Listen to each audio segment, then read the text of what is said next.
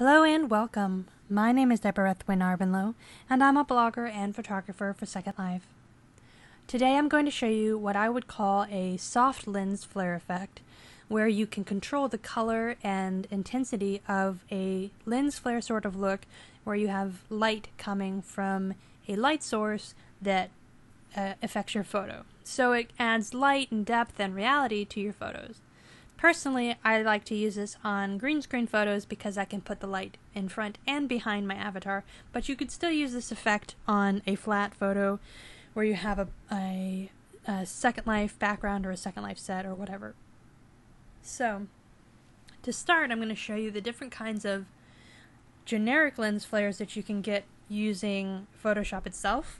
So you can render some lens flares in Photoshop, but they don't have a lot of versatility so you end up with basically just whatever you have, and then it looks like anyone else's lens flare who's used the same effect. So it doesn't allow you to be very unique, but it is easy to use. So some pros, some cons.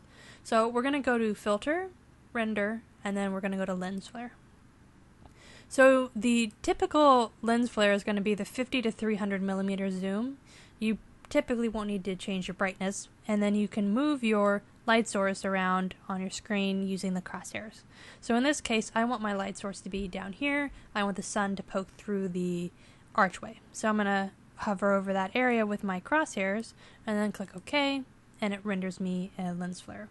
So it's a cool effect, but it's a little bit boring and generic, and a lot of people use it. So you don't have a lot of versatility, and you look sort of like anyone else who's used the same lens flare effect. So Instead, you could create a soft light glow effect without all of the rings and all of that, just a soft light glow to give a similar concept to your photo. So I'm going to go back to my layers and I'm going to add a new layer. So I'm going to go down here, create new layer. I'm going to select my new layer and I'm going to go over here to fill tool. By default it has a little paint bucket. I'm going to hold that and choose gradient tool. Then up here, I want to choose the radial gradient. The radial gradient is like a circle inside of a square. And then here, I want to edit a gradient, and I want to create my own gradient that's going to be black on the right-hand side and a color on the other side. So you can go up here and go to any of these, really, and you can change the color. So in this case, I want the side to be black, right side black. So I'm going to go black. And then on this side, I want to make it whatever the light source color should be. So in this case, I want sort of a greenish yellow light so it looks like the sun is coming through the jungle greenery. So here I'm going to choose this and I'm going to change this color to be you can select a color in here, make it a little brighter, and make it a little more yellow so it looks more like the sun. Okay, so I've created, um, let me make this a little brighter. I like to make sort of bright colors because you can always reduce them later. Alright, so I've got a sort of bright greenish color for my sunlight, and then I have a dark color on the end for the other side of my gradient. So I'll click OK, and then I'm going to use my gradient tool to make a radius. It draws a line, and then that line creates a radius. So you can see that it's created a um, the diameter of my circle through the line. So basically what happens is you take the line and you drag it and it builds your radius from that from the diameter. So it takes this here and it creates the diameter from that. So keep that in mind when you are doing your um, lens flare effects that whatever you take here is going to be half of your circle and then the other half will blow out on the other side.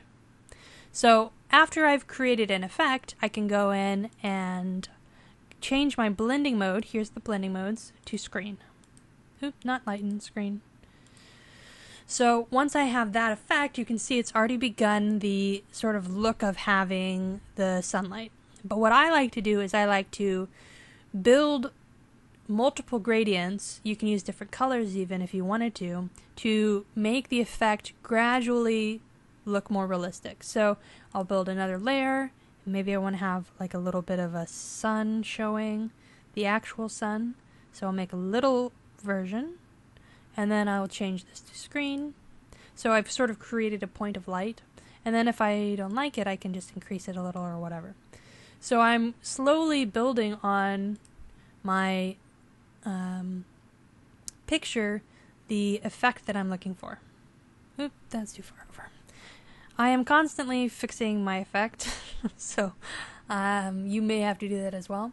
What you want to really do is focus on where your light source would be, and then make your radius go out from your light source.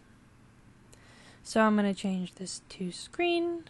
So you slowly sort of build, and you can change the colors if you don't like them. So I could, if I wanted to, I could flatten these, merge the layers, change them to screen, and then I can change the hue to whatever I want. Or you can keep them separate and play with them separately, either way. So I'll go back to having all those layers. So I've got these layers and they're creating this cool sort of effect. And if I don't like how intense it is, I can also reduce my opacity to make the effect less in some places if I'd like. Reduce the opacity a little. You can reduce the saturation if you find that the color doesn't work. Basically, you can play around with it as much as you want. And then maybe I also want to add one behind my avatar which is the benefit of being able to do this on a green screen photo is I can take my light source and I can make a big old one and I can move it behind my avatar and I can change it to screen. So I can sort of make it blend together. So I'll have the light behind and then I'll have the light in front as well. So we got the light there reduce the opacity a little duplicate this layer. You sort of just play around with it until you achieve the kind of light that you think that you want. So this color is a little bit too bright for this, so I could change it if I wanted to, but the concept is the idea. So let's go back to before I did these. Let's see. Alright, so we will work on this layer. So if you want to create a light that is like a firelight, you can do that as well. So there's a lot of different kinds of lights that can be used to make your photos look more realistic. If I want to add firelight, I'm just going to choose a color that looks sort of firelighty and I'm going to click OK. So if I want to make a fire, if I have a fire in my scene or whatever, I want to create an effect that looks like it's glowing on me, I can do that. So I can make it look like sunset, I can make it look like fire, I could make it look like a neon light. The possibilities are endless. So if I want it to be neon, I can make it neon. Any kind of lighting that you have, you can create this effect to make it look more realistic. So if you have a lamp post or a neon sign or a fire or any kind of light source, you can use this effect to add the sort of glowing light that you would expect in real life to make it blend in more with your photo. So it helps to blend, especially with green screen photos, helps to blend your photo into the um, background. So it makes it look more like reality. If you uh, have any problems with rings, um, what I mean by that here, sometimes you can find when you do gradients, sometimes you get rings um, at the edges of your light. So if you have that problem, you can also, or if you just don't like how soft it is, you can do a little bit of a lens blur on your gradient. So this will take a little while to render.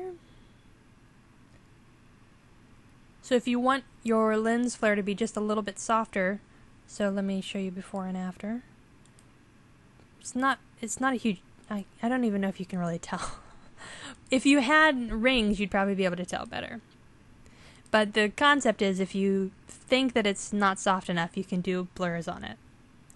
So that's about it for this. It's a pretty easy thing to do. It's not um, like hugely difficult. So if you have any questions about the soft lens flare effect, you can leave them in the comments. You can send them to me on Plurk, on Flickr, or in Second Life itself.